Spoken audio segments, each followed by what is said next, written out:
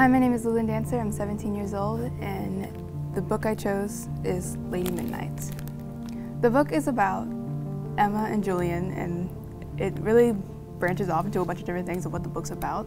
The main thing is them trying to find what's going on in LA about the demons and stuff, and them trying to figure out how not to be in love with each other because they're parabatai, which means they've been bound together as warriors and they both have a rune that connects them together, but the Parabatai are not allowed to be in love with each other. Someone is doing forbidden necromancy and stuff in LA, which they're not supposed to be doing, and they're trying, they're breaking the accords, and that's a no-no.